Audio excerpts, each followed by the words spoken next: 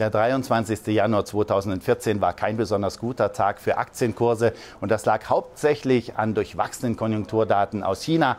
Der Einkaufsmanager-Index für die Industrie zeigte nämlich eine leichte Schrumpfung an und das erstmals seit sechs Monaten.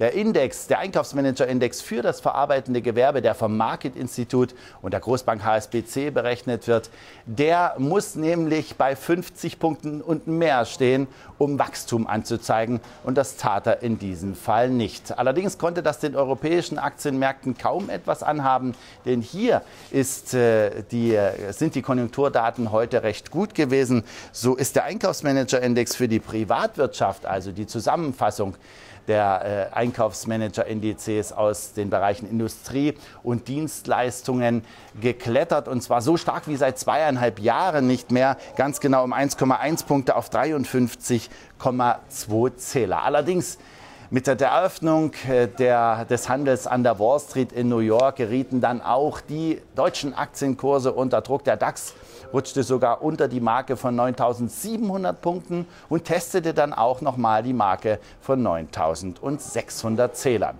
Jetzt wollen wir mal einen Blick vorauswerfen auf das, was uns zum Abschluss dieser Börsenwoche am Freitag, dem 24. Januar erwartet.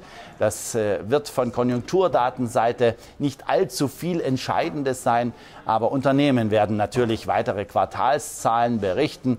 Einige der bekanntesten habe ich hier mal auf der Tabelle zusammengefasst, obwohl das jetzt auch nicht die großen marktbeeinflussenden Akteure sind. Dennoch wollen wir sie festhalten. Bristol Myers Squibb Kimberly Clark, Procter Gamble natürlich hier vielleicht der prominenteste Vertreter, Stanley Black Decker und Xerox.